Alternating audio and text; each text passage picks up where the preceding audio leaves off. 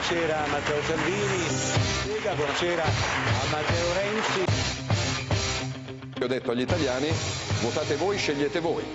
Si è inventato un governo sotto il fungo per evitare queste elezioni. Il colpo di sole del papete è evidente che lo fa rosicare ancora adesso. Sono abituati caviale, champagne e Monte Carlo. Io sono molto più sempliciotto. Lei sa tutto delle sagre di questo paese. La seguo anche con una certa ammirazione per il suo stomaco. A Milano Marittima succedono gli atti più incredibili. Ma lei dovrebbe governare il paese, andare al G20, al G7, non alla Proloco. I casi sono due. O gli italiani sono cretini, Non ha portato a casa un risultato, solo tanti spot. o sono tutti rimbambiti. È in politica dal 1993. Se lui ha il 4%, ad oggi io ho il 33%, qualcosa di buono si è fatto. È da 27 anni che è in politica e 27 anni che si sottrae alla verità. Allora, sti 49 milioni li ha utilizzati o no? Per comprare pubblicità su Facebook, per alimentare la bestia? No, a Ma lei, chi li ha mai visti? Ma Io faccio politica per passione. Se volessi arricchirmi, farei conferenze in giro per il mondo pagato decine di migliaia di euro.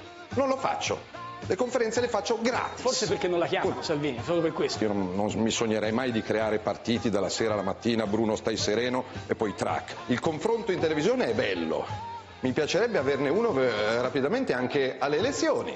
L'avevamo intuito. Eh, alle elezioni. Avevamo Eh, intuito, ma è per questo.